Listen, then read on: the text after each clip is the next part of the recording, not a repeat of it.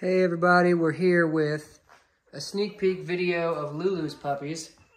These are F1B mini slash medium golden doodles. They'll be about 30 to 40 pounds fully grown. And she had eight beautiful puppies. They're all doing great. They're all healthy.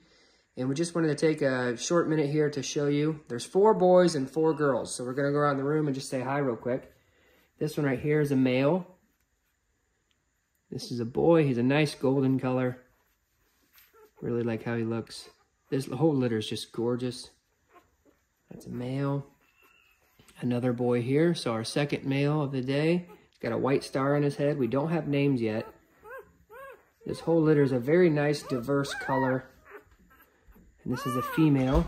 She's got a white star on her head. Nice black nose. You can see all of them are getting fed very well. Here's one of the smaller females.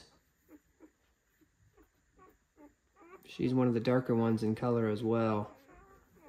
That's a female. We're four in. Here's one of the white partis. This is a boy. And I know there's one boy and one girl of the white partis. He's got nice golden colors on the sides and a little star on top. A beautiful boy here if you're looking for the white partis. All right, I think we've already said hi to this one. I'm gonna go to the other side.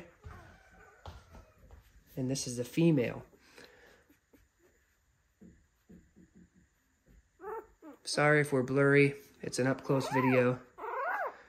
That's our female. This is another boy. The wait list is open right now for this litter. And this is one of the lighter colors, almost apricot. This is a female. So a short video just to see the babies.